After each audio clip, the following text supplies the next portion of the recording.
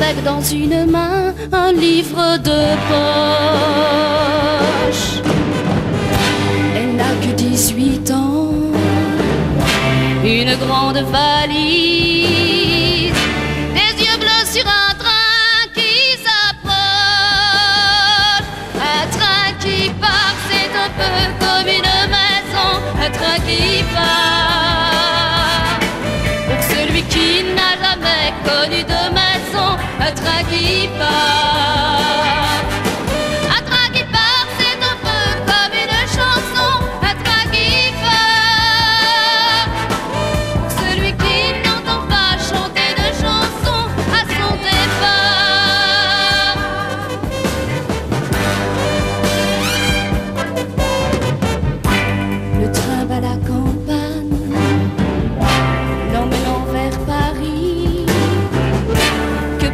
doit-elle y faire pour gagner sa vie?